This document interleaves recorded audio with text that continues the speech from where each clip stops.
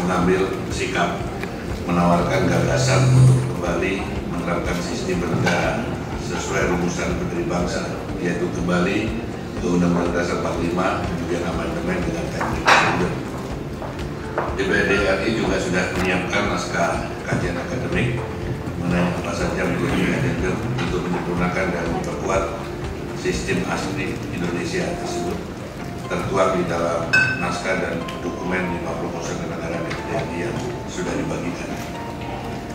Langkah yang akan ditempuh sebagai strategi. Rencana kami membentuk Dewan Presidium Konstitusi yang akan dipimpin oleh Wakil Presiden RI ke-6 Jenderal TNI Purnawirawan Trisut Trisno dan pimpinan kolektif DPD RI sebagai lembaga negara penggagas.